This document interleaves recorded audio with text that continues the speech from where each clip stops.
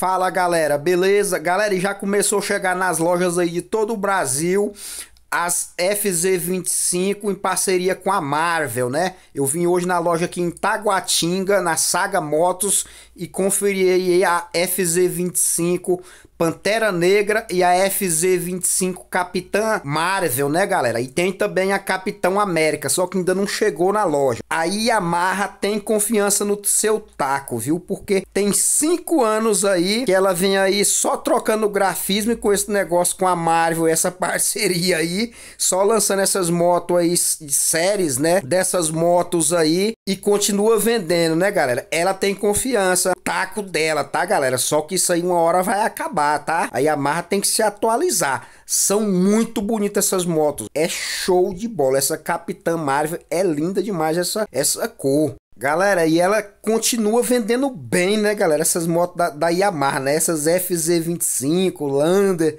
Galera, isso é por causa do preço, tá? Mas não é só por causa do preço, não. Vou falar para vocês. O preço dela aí tá 23,387, galera. E ela, mesmo sem atualizar, mesmo com menos cavalo, galera, eu prefiro pagar esse valor nela do que dar 25, 26 numa CB300F. Eu não sei porquê, galera. E eu nunca tive uma FZ25, não. E já tive Twister 250, galera. E gostava demais da minha Twister. Mas não sei porquê. Hoje eu sou muito mais a FZ25. Mesmo sem as atualizações, eu sou mais comprar ela do que comprar a CB300F. Só que a Yamaha vai ficar para trás, tá? Ela não pode ficar confiando tanto nesse taco dela aí, não porque ela tem que se atualizar, galera. Não é possível, não. Uma moto dessa daí merece uma sexta marcha e mais quatro cavalinhos. Mas tá aí, tá, galera? As motos são bonitas, viu?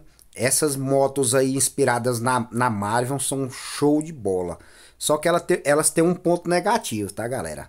Talvez você não ache, não, mas eu vou te falar um ponto negativo dela aqui. É na hora da revenda, tá? Não é todo mundo que quer uma, uma, moto é, é, com edição, não é, não é edição limitada, uma moto diferenciada das outras, né? Então, assim, é como se fosse uma edição. Ilim... É, na verdade, é, né, galera? Uma edição limitada, né, galera? Vamos assim dizer. Porque na hora da revenda, não é todo mundo que gosta desse estilo aí. A maioria, na verdade, não gosta. Ela é mais difícil a, a revenda. É claro assim também, né? Tem aquelas pessoas que vão atrás e quer porque quer uma, uma, uma Pantera Negra, uma Capitã Marvel, uma Capitão América, só que são poucas. Então, na hora da revenda, ela tem uma dificuldade a mais. Isso é fato. Moto, carro, que é edição limitada, série limitada, inspirada em alguma coisa, na hora da revenda, a dificuldade de venda é maior. Isso é fato. E antes de você falar assim, rapaz, mas nem comprei a moto, tu já tá falando em revenda. Meu amigo, nós que é apaixonado por moto, eu vou te falar um negócio. É a coisa mais difícil quem é apaixonado por moto ficar mais que dois anos, três anos numa moto. São raríssimos casos. A gente sempre quer estar tá pegando uma moto diferente, testando outros estilos de moto. A gente pega a moto hoje.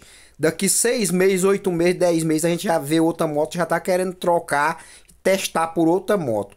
E isso não é, não é só com relação à moto, não, galera. É, se tem uma coisa que, que a gente fala que não a felicidade é de momento, são be, bens materiais. Você compra um produto hoje, você acha ele maravilhoso, você fica anos e anos ali apaixonada pelo aquele produto. Depois de 10 meses, um ano, já não tem a mesma alegria, aquilo já acabou para você. Então, assim, com a moto é a mesma coisa. Compra hoje, daqui 10 meses você já tá pensando em outra para comprar, você já quer uma moto maior e daí por diante. Galera, curte, comenta, se inscreve no canal, deixa sua opinião aí. Falou, forte abraço.